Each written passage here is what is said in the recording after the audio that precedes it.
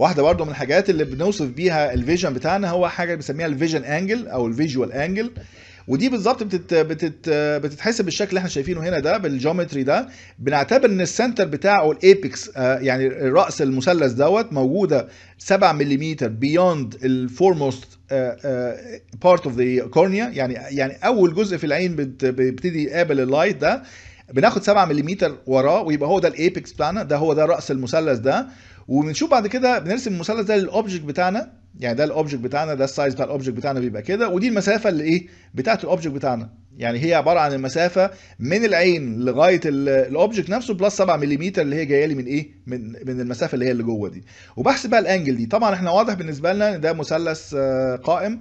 فبنتكلم على إن tan ال angle بتاعتي عبارة عن المسافة اللي هي S naught دي على إيه اللي هي على ال D naught اللي هي المسافة بتاعت ال depth بتاعنا.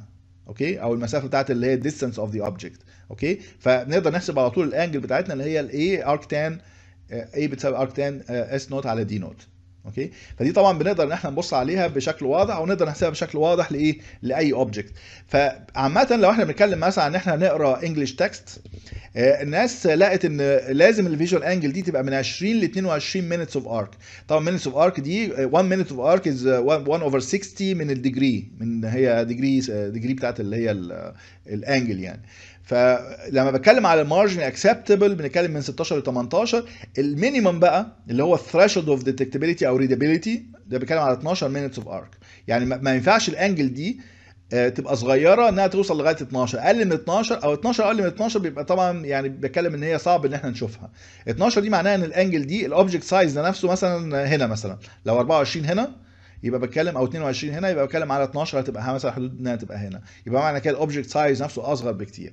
فلازم آخد في اعتباري لو أنا بتكلم مثلا إن أنا هعمل display معين لازم آخد في اعتباري إن ال angle بتاعه ال viewing بتاع ال text دوت تبقى في الحدود اللي المفروض تخلي ال user ده يبقى مستريح اللي هي في ال preferred range علشان يقدر إن هو يشوفها بشكل واضح وما يبقاش في عنده أي مشكلة إن هو يقراها من غير أي يعني تأثير لعيوب الإبصار بتاعته.